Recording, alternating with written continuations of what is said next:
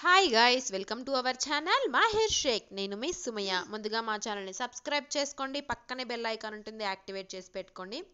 ఈరోజు రెసిపీ వచ్చేసి సజ్జ బూరెలు. ఎట్లా చేసుకోవాలో మూడు రకాల టిప్స్ కూడా మీ ముందుకు అయితే తీసుకొచ్చేసాను. సో ప్రిపరేషన్ ఎట్లా చేయాలి ఏ విధంగా చేసుకోవాలి ఎట్లా చేస్తే ఎట్లా పొంగుతాయి ఎలా చేయకపోతే విరిగిపోవడము ఇట్లాంటి డిఫెక్ట్స్ ఉంటాయి కూడా చూపిస్తాను. సో ముందుగా మనము సజ్జలను అయితే తీసుకున్నామండి. ఒక కప్పు సజ్జల వరకు తీసుకొని ఒక రోజు ముందు రోజు నైటే నానబెట్టుకోవాలి. నేను నిన్న నైటే నానబెట్టుకున్నానండి. చూసారు కదా మెజర్మెంట్ కోసం ఒక కప్పే వాడండి. ఎప్పుడు వీడియోస్లో అదే చెప్తున్నాను. వీటిని మూడు నుంచి నాలుగు సార్ల వరకు బాగా క్లీన్ చేసుకొని నైటే నానబెట్టుకోవాలి. ఇప్పుడైతే నెక్స్ట్ డే అయితే అయిపోయింది. వీటిని మనము ఫ్యాన్ కింద గాలికైతే ఆరేస్తున్నాము. బాగా కడిగి సజ్జల్ని ఫ్యాన్ కింద ఈ విధంగా ఆర ఆరబెట్టుకోవాలి.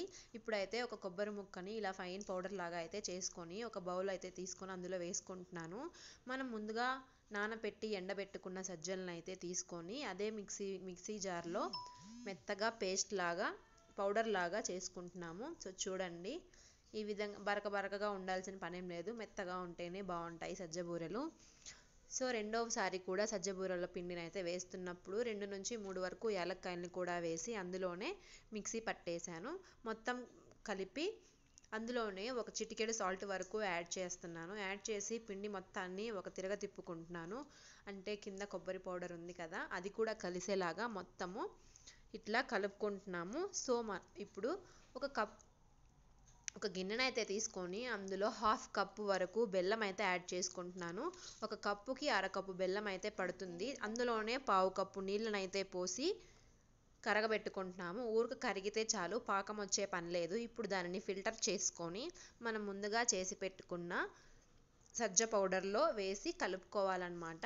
సో ఇప్పుడు నేను చెప్పబోయే టిప్ ఏంటంటే ఇప్పుడు మనం బెల్లం వాటర్ కలుపుకున్నప్పుడు మొత్తం ఒకేసారి వేసి కలుపుకోకూడదు.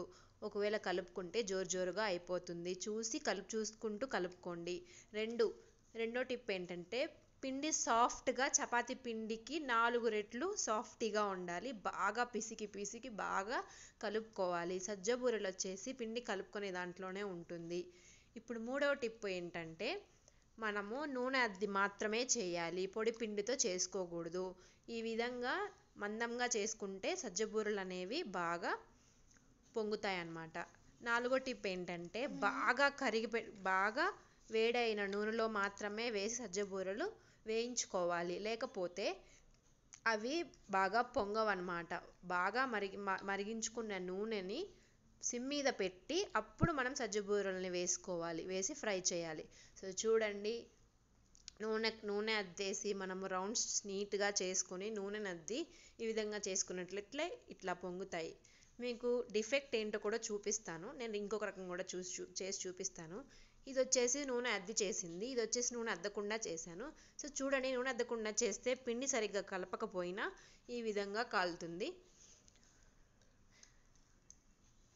మన వీడియోస్లో ఎందుకు చెప్తున్నానంటే ఇట్లాగా మంచివైనా చెప్పుకోవాలి చెడైనా చెప్పుకోవాలి నేను చేసిన తప్పు మీరు చేయకూడదు అని చెప్పేసి మాత్రమే ఈ క్లిప్ని నేను మీకు యాడ్ చేశానన్నమాట. సో చూడండి బాగా చేసిన బాగా చేసిందైతే ఇట్లా కాలి బాగా పొంగాయి. చేయంది అయితే చూడండి ఇరిగిపోయి నూనె కాగకుండానే ముందుగానే వేసేసాను. నూనె అద్దకుండా చేశాను. ప్లస్ ఈ విధంగా వేసేసరికి చూడండి ఇప్పుడు ఐదో టిప్ ఏంటంటే సద్దబూరలు ఎప్పటికైనా రౌండ్గా మాత్రమే చేసుకోవాలి. ఓవెల్ షేప్లో చేసుకున్నట్లయితే అవి నూనెలో వేసుకున్నప్పుడు ఒకవైపుకి ఇట్లా వంగిపోయి ఒకదాని మీద ఒకటి పడతాయి. అవి ఫ్రై కూడా అవ్వవు అనమాట సో చూడండి. ప్లస్లు ఉంటాయి మైనస్లు ఉంటాయి ప్రతి ఒక్కరికి ప్రతి ఒక్క రెసిపీకి కూడా.